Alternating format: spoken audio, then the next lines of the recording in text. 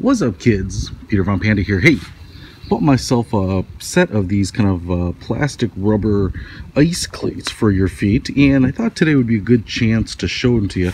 I've got some ice here. Uh, it's interesting because this is um, a combination of snow, some freezing rain, there's kind of a bunch of stuff. So there's some areas here where you've got a little bit of traction because of kind of the granularity of the snow sitting on top.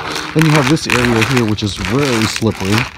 Um, and so I thought it'd be a, a, good quick little test to see how it does on hardened ice like this, but then also uh, hardened snow, compacted snow, uh, because that's, you're probably going to run into both of those. So the, the difference here with these ice cleats is that they don't go over your entire foot, obviously, like some of the, the wire ones that stretch from from toe to heel. These go just over the, the, the, the toe portion of your foot. It does take two hands to get these things on. So the rubber here is really, um, it's pretty small and you have to use two hands to stretch it apart, which is good.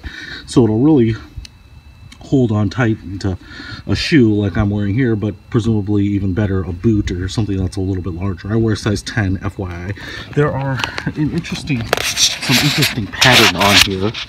Um, you can see a little bit of these uh, crow feet type of um, tread design here.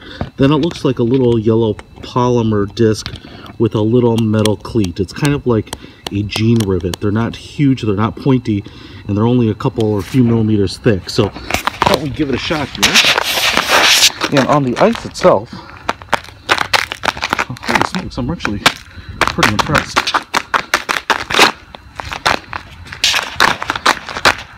Obviously you have to balance yourself up on the front portion of your feet which is where you're going to have all your fine control on the foot anyway but man you know what? These things work great.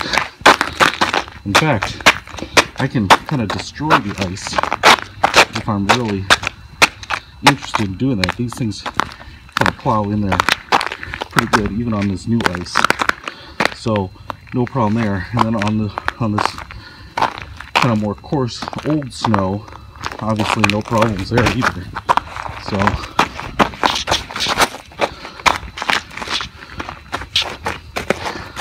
So thumbs up for these things, you know, pretty good value, pretty cheap. And if you're going to do some shoveling or just walking about on areas with ice and snow, and I'd recommend them. I'm going to keep a few pairs of these around the house, a couple in the cars. Peter Von Panda, out.